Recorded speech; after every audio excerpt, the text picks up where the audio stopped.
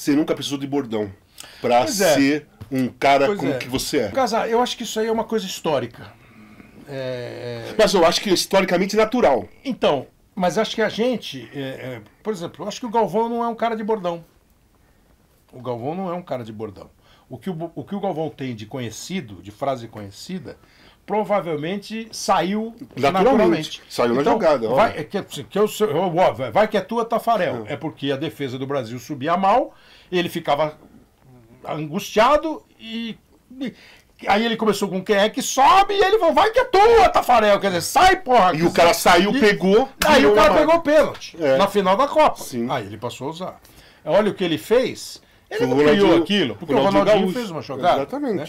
E assim outras tantas. São Outras- frases a dele. São frases que ficaram conhecidas. E é lógico, você percebe que a frase é boa, você passa a usar em outros. E- e encaixadas, né? Encaixadas. Mas assim, eu imagino que o Fiore Gilhote, que você conhece, ele pensou para falar assim: ah, abrindo as cortinas e começa o espetáculo. Aquilo não é natural, aquilo Não. foi pensado. Mas é bom pra caramba.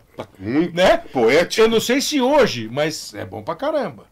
É, ripa na chulipa, pimba na gorduchinha do Osmar, é pensado, Sim. é bolado. Mas são bons.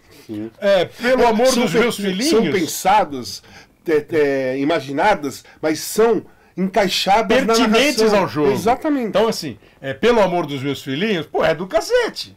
Eu acho Pelas que esse, barbas do profeta. Esse eu acho que é o rei. Agora, quando você cria um e força, eu não gosto. Eu não gosto. Eu também não gosto. Mas assim, para dizer que eu, eu- você, já- você nunca tentou, já. Mas eu mesmo esqueço.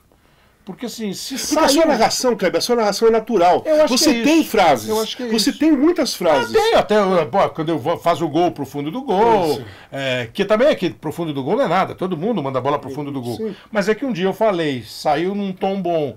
E aí você ouve alguém falando assim, vai jogar pro fundo do gol. Você, pô, então eu vou usar essa porra. Daí começa a usar. É, hoje não, hoje sim, foi absolutamente sem querer.